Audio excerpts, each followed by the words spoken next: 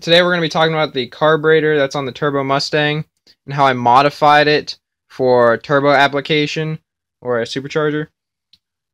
Now what I've done to this carb goes off of the uh, Hangar 18, a write-up of how to pretty much do it, but I'm just going to go through it in a video.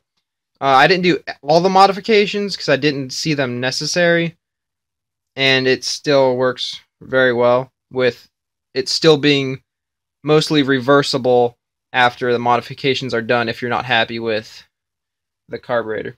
So obviously you can buy a turbo application carburetor that booster references and everything online, but they're a bit expensive, around like $700.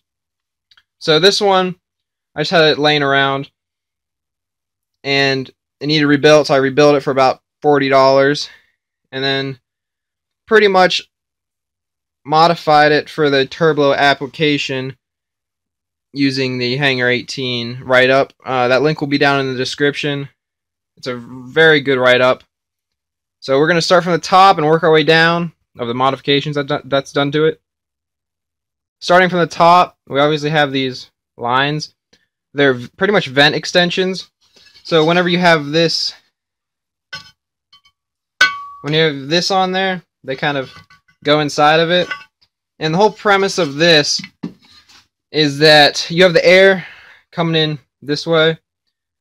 And once they hit these, it'll kind of pressurize, it'll help pressurize the bowls. And it'll push the uh, fuel through the jets. So if you didn't have these, obviously it would still work, but they wouldn't get the events wouldn't get much of a as good of a signal, which would make you have to run bigger jets. So this just helps the um, whenever you're not under boost keeps your jet size down. Which I read this on a forum, a couple forums actually, and I want to try it. So I threw these uh, this fuel line on here. Obviously, you would want to use probably like brake line or something like that, something metal. But I just threw these on there, and it's it's helped a lot. Um, it's keeping my uh, primaries and secondary jets down. And uh, we'll talk more about the jets when we get there. Alright guys, so the next thing I did was, obviously you don't see a, a choke plate in there. So you obviously have to take that out. Not just because it'll be a restriction with the boost, but you have this uh, this arm with this plastic piece that go through this hole. And obviously, turbo application, everything, you have to try to get everything as sealed as possible. So you have to fill that hole. I use JB Weld, which is kind of like a fuel resistant epoxy, which still work it works very well. And so you have to fill that hole up or else all your boost is pretty much gone. So the next thing I did was I couldn't get the stock carburetor filter gasket to seal on the on the carburetor hat back here. So what I had to do, I went online and they have these gaskets. It's like a it's a rubber, kind of stretch a little bit. Um, they're they're made for uh, carburetor hats and for turbo application, so they seal really well. Uh, a little expensive. They're about you have to buy packs of three, and they're about just for a pack. So a little pricey, but definitely worth it. Okay, so on this carb hat, I had some sealing issues at first because this around here was not flat. So I just got a flat, a flat surface, grabbed some sandpaper, sanded it down. Nothing major, just a little bit, and it seals great now. So I just wanted to bring that up. If you're having some sealing issues around the um, this face, you might want to sand it down a little bit. Just make sure you get it flat and even and you'll be good. Alright guys, so up next we have the bowls, which just have the uh, these foam ones.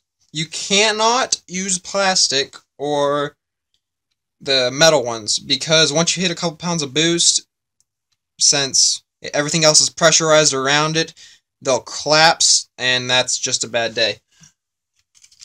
So obviously, both of them need them. So they're a little more expensive than the normal ones, but you gotta do what you gotta do. So Obviously, this is the primary side. In the primaries, we have 65 size jets. And then